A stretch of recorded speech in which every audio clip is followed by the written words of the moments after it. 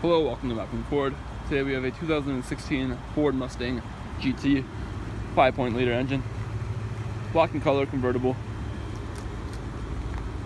four passengers, leather seats, tech package inside, dual chrome exhaust. Let's take a look inside. So over here in the driver's side, on our mirrors we have our blind spot detection that will light up right there if there's a vehicle beside you and it's unsafe to make a lane change. That is in accordance or on top shoulder checking. Here you have your three memory seating positions for three different drivers. Power locks. You have your power windows, including front and back, power mirrors, your sound system. Here you have your auto light settings, your fog light settings, and your odometer settings on the right hand side. We have paddle shifters on the steering wheel, our menu controls, including the track apps, lots of cool settings in there. Here you have your cruise control, volume controls, and hands-free settings. Your circular air vents, Mustang logo imprinted there. Your infotainment system, which is Apple CarPlay and Android Auto enabled your steering wheel mode right here, sport mode, comfort mode, and normal mode.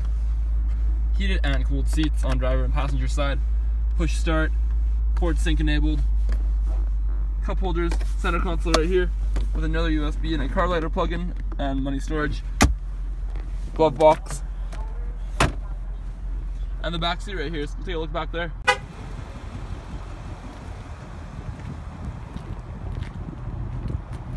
Very nice to look at the back of the vehicle.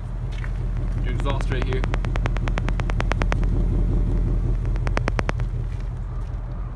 The back seat here has two seats, speakers, storage in both back seats, buttons right here for the passengers to get out. It's a convertible with a soft top. Your trunk that is accessible by pushing the trunk button on your key. Subwoofer in the back. Decent amount of storage back here. Again, this is the other side. Passenger side here. Just your power locks, power windows, speakers and storage.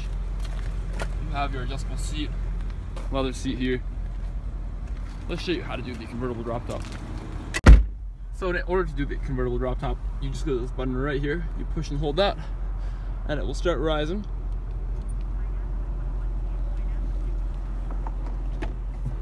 You push and crank, fold up, simple as that.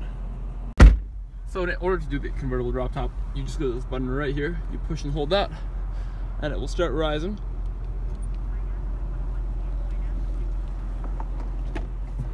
You push and crank, fold up, simple as that.